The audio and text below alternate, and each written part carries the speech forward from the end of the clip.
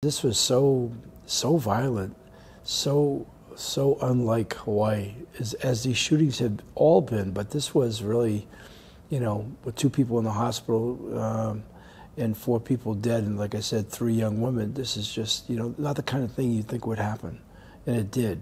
And so, we we we've got to stop this. This is not something we just got to curb. We have to stop this.